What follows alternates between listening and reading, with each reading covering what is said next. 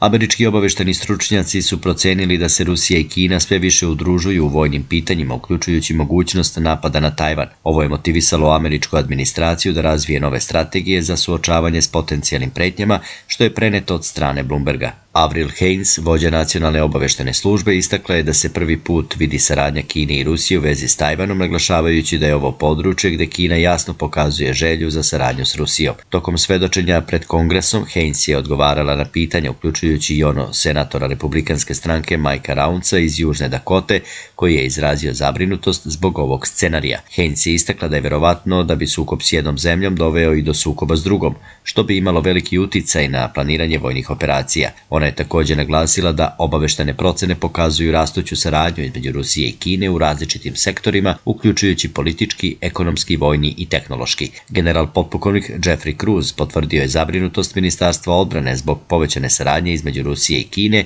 ističući da to utiče na strategiju vojnih snaga. Podsećamo da su Rusija, Kina i Iran održali zajedničke vojne vežbe u martu pod nazivom Pomorski bezbednostni pojas 2024 u Omanskom zalivu i Arapskom moru.